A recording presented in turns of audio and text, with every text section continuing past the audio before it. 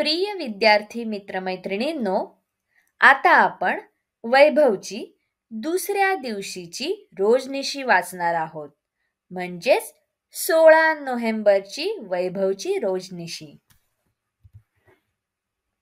शाळेच्या सहलीबरोबर नागझरीला गेलो होतो. रस्त्यात एक शिवार लागले.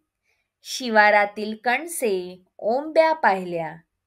तेथे हरभऱ्याचे डहाळे लागले होते. ते पाहून आमच्या तोंडाला पाणी सुटले.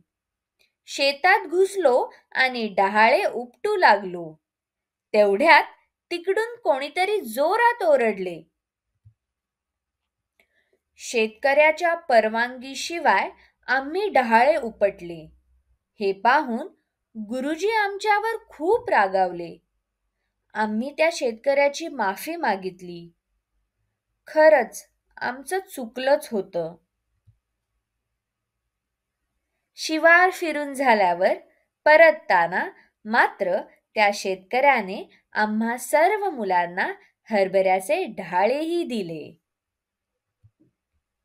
Thank you